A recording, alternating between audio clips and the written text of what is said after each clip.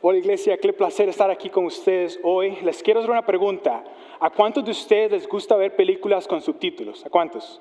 A mí, a mí me encanta, porque la razón, ah, cuando veo películas con subtítulos, entiendo el mensaje bien, me, me da a entender el mensaje. Now, unless you're fluent in Spanish, you're like, what just happened, right? And the reality is that I do love watching movies with subtitles. It's one of my favorite things. Uh, every time we watch a movie with the Hepburns, they're like, why, why are those things down there? It's like, subtitles, we need them. Those are good. Because they clarify the message. They're good. Now, some people may not like them, but that's, that's your prerogative, and that's fine. Now, I see, and the reason why I wanted to talk about this specific subject today is because I see there's so many relationships who are hurting because of bad communication. And I don't expect this teaching to solve every problem, every relationship that you, that you have in your life, but I do hope that it encourages you to try one more time. Again, I think all of us, if we're honest, we need help with communication. I'm, I, I know I do. I need a lot of help with communication, not only because English is not my first language, but you guys know that, you know, the way that you say things matter. Uh, your attitude matters. You know, the things that you don't say matter. All of that is communication. In fact, earlier in the service, uh, Mike Miller came to me and he's like, Hey, uh, I know you're speaking today.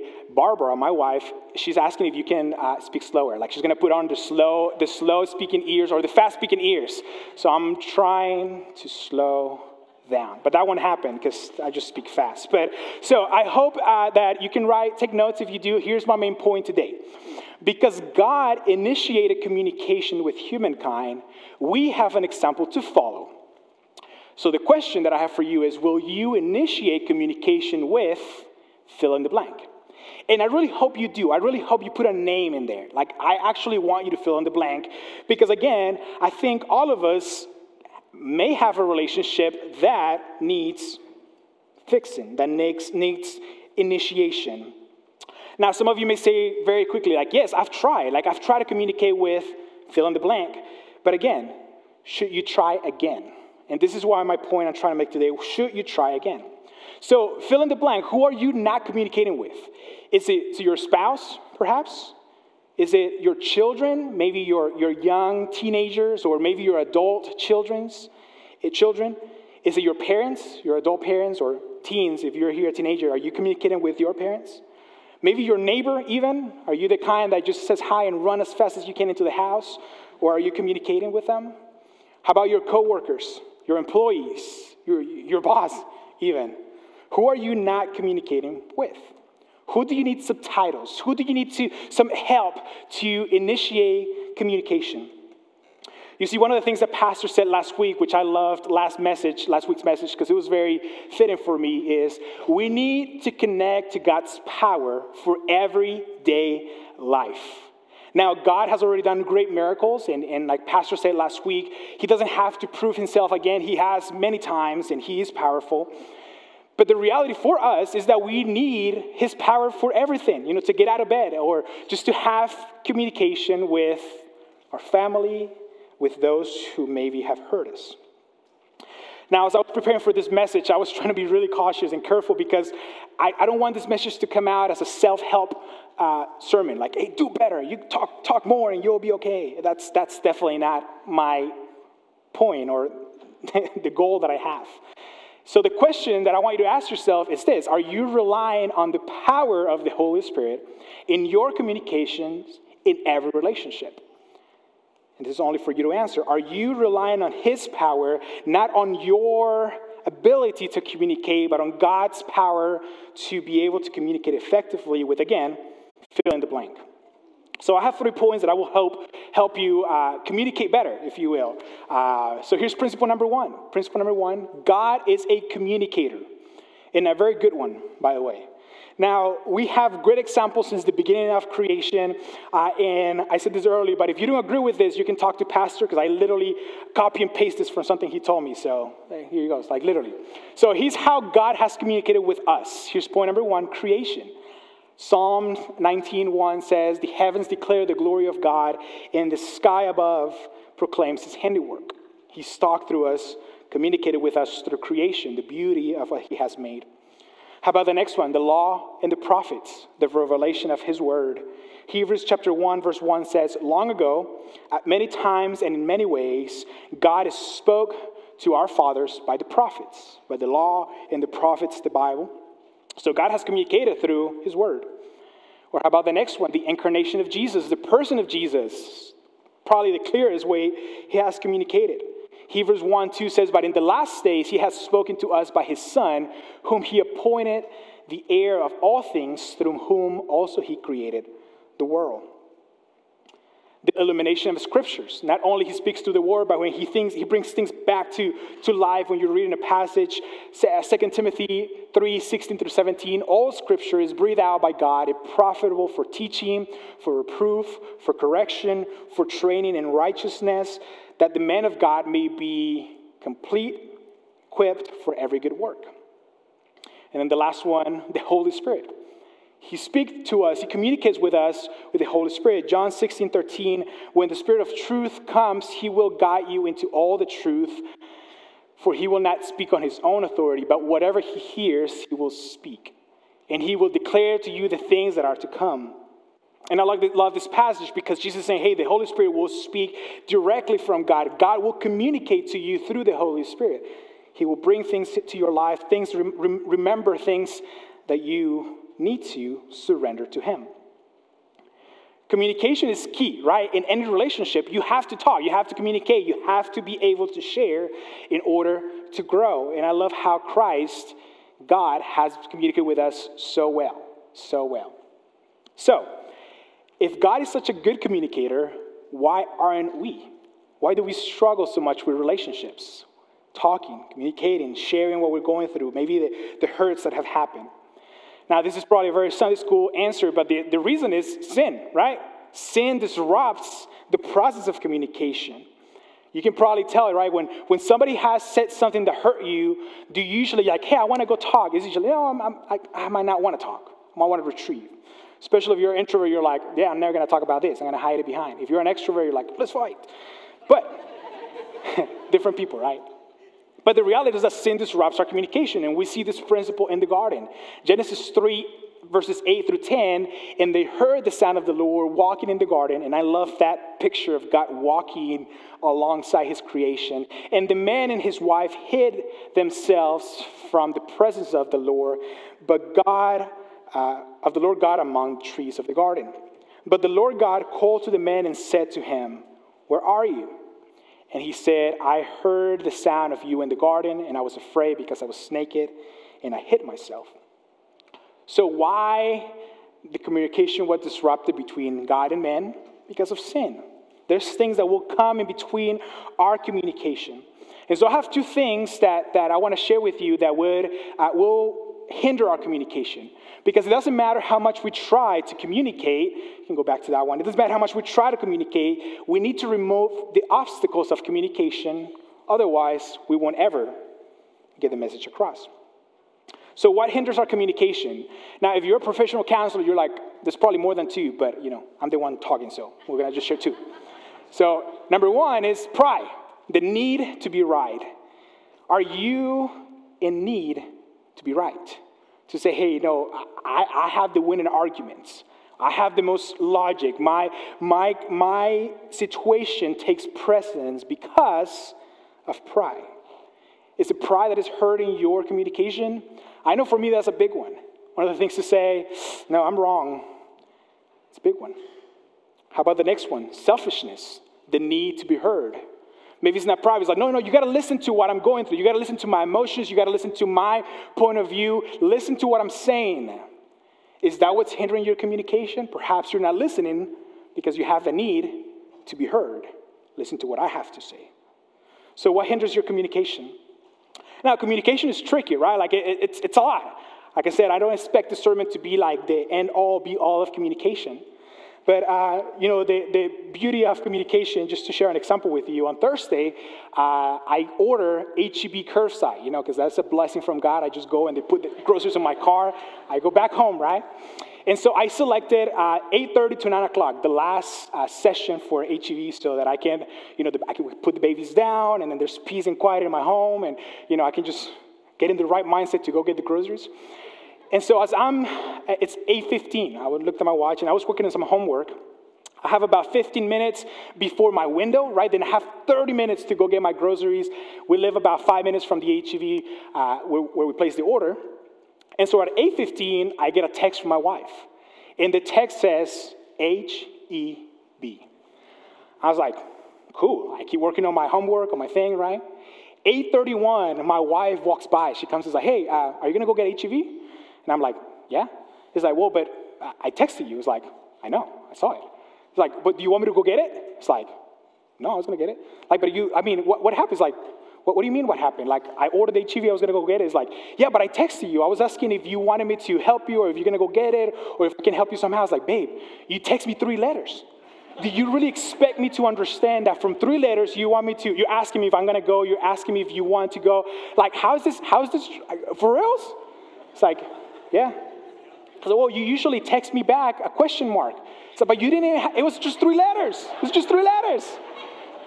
Communication is complicated, right? But we all need help with our communication. So, principle number three, what do we do? Somebody needs to initiate conversation. Somebody has to start. Because what happens if you have two parties and none of the parties talk to each other? They won't talk to each other. And the reality of this is reconciliation. Somebody start, needs to start reconciliation. I went and looked at the, uh, the definition at the Baker Encyclopedia of the Bible. And, and I love what it says. It says reconciliation is the restoration of friendly relationships and of peace where before there had been hostility and alienation. Alienation, alienation, that word. Ordinarily, it does include the removal of the off- offense which caused the disruption of peace and harmony. This was essentially so, and I love this part. This was especially so in the relationship of God with humanity when Christ removed the enmity existing between God and mankind by his vicarious sacrifice. As I was preparing for this, uh, I listened to Andy and Stanley, and he said something that was very interesting to me. He said, Forgiveness takes one, reconciliation takes two. What does that mean?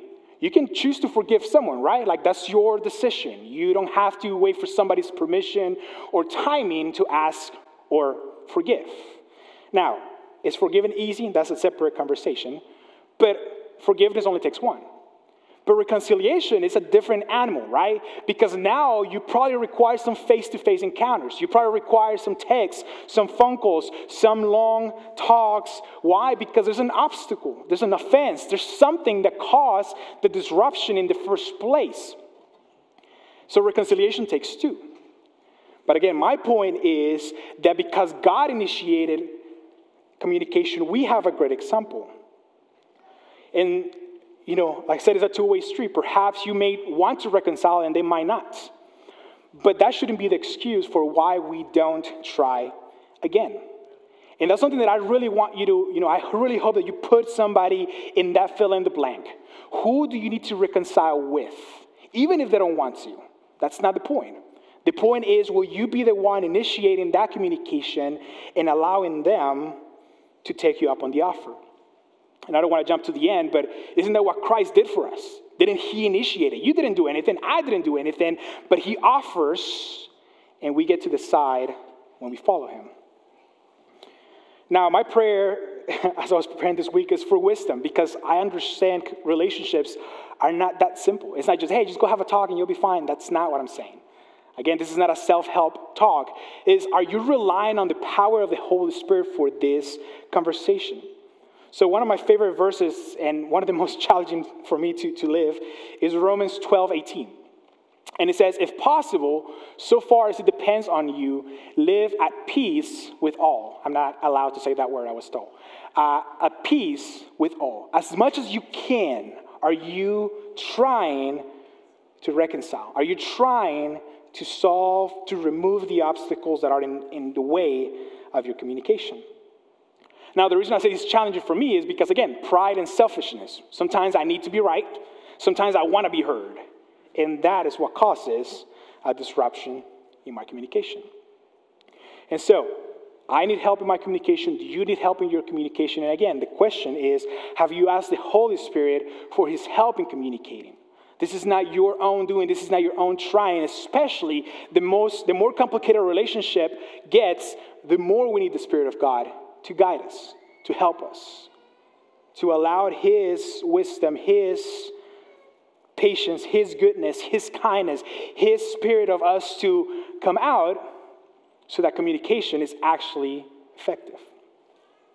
So, how do we add subtitles to our communication? How do we, how do we add that extra uh, help? And I have some practical steps here that I hope will give you the next step. Again, I know it's more than that, but somebody has to start. Somebody has to initiate the communication. So, how, we, how do we do that? One, you can build a bridge between the two of you.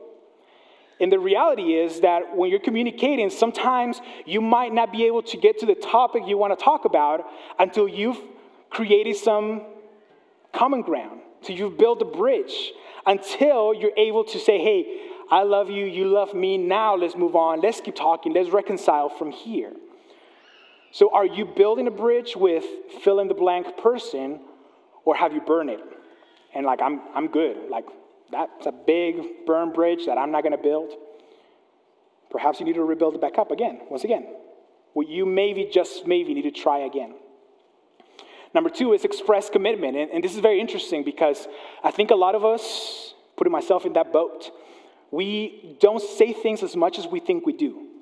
You know, we don't say I love you as much as we think we do. Like, oh yeah, she knows I love her and I, and I know she loves me, but have you expressed that? Have you said that? Have you told your student lately that you're proud of them? Have you told your parents that you're thankful? Have you talked to your kids like, hey, I love you? Have you said that out loud? It's kind of awkward sometimes, especially when there's stuff in between, right? Especially when there's arguments, especially when there's hurts.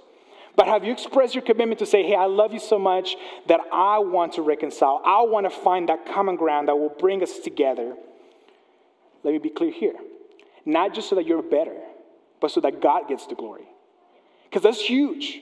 As Christians, if we're living hurt or in, in fights with people, that reflects in the name of Christ because Christ has forgiven us, Christ has offered us grace and mercy. And sometimes we as Christians, we don't offer grace and mercy. Or we do, but I already did it once, I already did it twice you don't get any more. How about number three, maintain a positive tone? My mom would always say, it's not what you say, it's how you say it, right? Thanks, mom. But it's true, right? Your tone matters. Your tone matters. I love you. It's probably not the best, right? Now, this one is, is hard for extroverts. If you're an extrovert, this is for you. It's for me. Listen carefully to the other person, what the other person needs to say. Don't be ready to build your argument. Okay, oh, you said that. Hold on, let me write it down so I can, I can debunk it. I can, I can fight it back. I can show you that you're wrong, that you don't have the evidence that I know I was right. Are you listening to the other person, what they have to say? Not only are you listening, but are you, are you clarifying? Are you understanding? Will you seek to understand what the other person has to say? Ask questions. Hey, hold on, you said that. Is that what you meant? But you got to remember, you got to maintain a positive tone. This is not a fight, this is not a battle. You're trying to reconcile. What is the commitment? What is the bridge that you have built that you can always go back and say, hold on, before we keep down this road, let's remember why are we trying to reconcile? Next one, this one's hard. Don't let your feelings get in the way.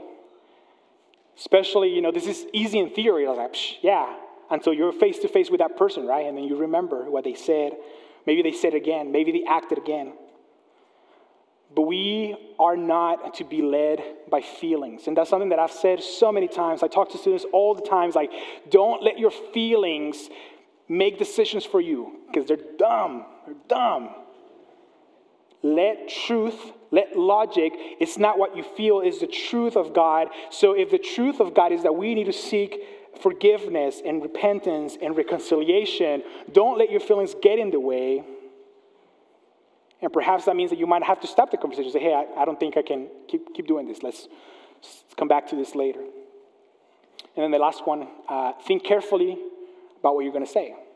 Again, are you just trying to win the argument? Do you need to be right? Do you need to be heard? Now, the main point was because God initiated communication, we have an example to follow, a great example.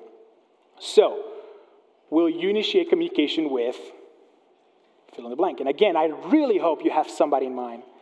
And I've been praying that as I'm talking, that God will bring that person that only do you know who is that you need to go try to communicate with. Because, like I said at the beginning, this is not just us trying, but this is following the example of Christ. And one of the things that I love about God, one of the things I love about the example of Jesus, and this might sound wrong, and, and I hope it doesn't, but the reality is that a lot of people will not take Christ's offer. Christ died for us. He offers reconciliation. He says, Hey, I love you. I've given you grace. Will you take it? But the ball is on our court right? Christ doesn't force his people to love him. Christ doesn't force his people to follow him. Now, when we follow him, we, we got to commit and surrender and, you know, pick up our cross. But until then, it is your decision. What am I saying here? If Christ has done that, you can literally run from Christ five, ten years perhaps. And today, if today you turn back and say, Christ, I'm back, I'm here, what will Christ say? Yes, the offer is still up. Christ is not like, hey, you got 30 minutes, and if you don't in 30 minutes, the offer is gone. But we do that as Christians. We're like, I already talked to my, my son a couple times, and he hasn't come back, so I guess I won't talk to them anymore. Hey, I already talked to my parents, and they just don't get it, so that's it. Why, if Christ offers grace and is open for us, and again, until today, now, in the future, the Bible teaches that this won't be the case, right? At some point, that grace will end, and at some point, there won't be a door for us to walk through. But today, there is. And so, if Christ has done that, why don't we? And perhaps that is you today. Perhaps you're here today and you've been running away from Christ and you've been ignoring his offer to reconcile. Although he initiated the conversation, although he started it, and although you have said no and no and no, he still says, But I'm here whenever you're ready. Five, ten, fifteen years, 30 years, who knows? That is the example that we ought to follow. Start with forgiveness, offer reconciliation, and let the other person take you up on the offer. And if they don't, it's okay. The offer is still on because Christ's offer is still on. We get to follow that. Worship team, will you guys come up here? And so today's title was subtitled, right? We need help in our communication. And I hope that, again, you didn't walk away saying, I just got to try better, because that's not what's going to do it. Is tapping on the power of the Holy Spirit, say, God, I need your help. Will you stand on your feet, to, to your feet with me?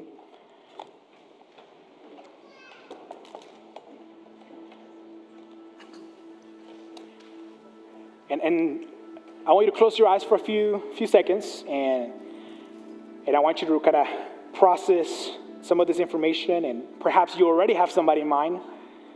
Perhaps you're like, no, I'm good. I don't have anyone to reconcile. That's a lie. That's a lie. And I want you to picture that person and, and, and just ask, Father, what, what is the next step? What, what do I need to do? Perhaps you've initiated that communication hundreds of times.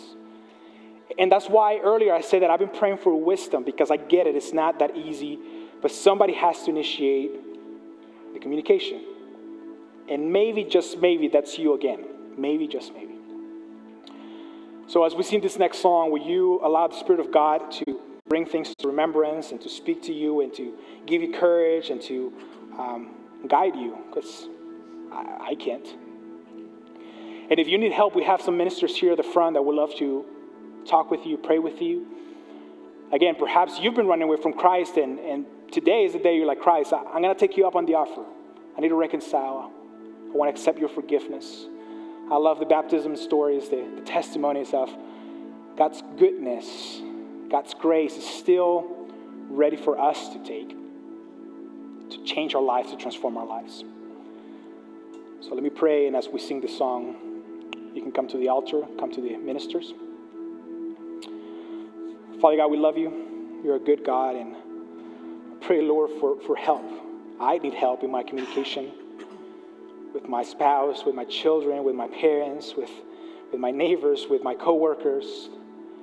Relationships are complicated, God, but we're not on our own. We get to tap on an unlimited source of power, on the person of the Spirit of God who can walk beside us, who is in us, And so I pray, Lord, that we will not be wise in our own understanding and try to communicate uh, our message, but we would approach relationships with humbleness, with grace, with mercy before judgment.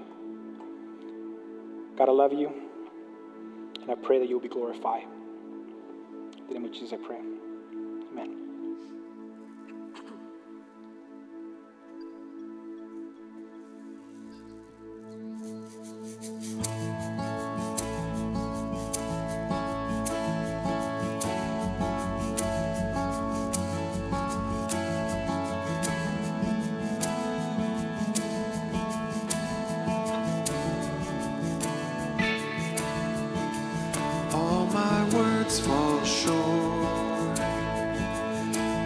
I've got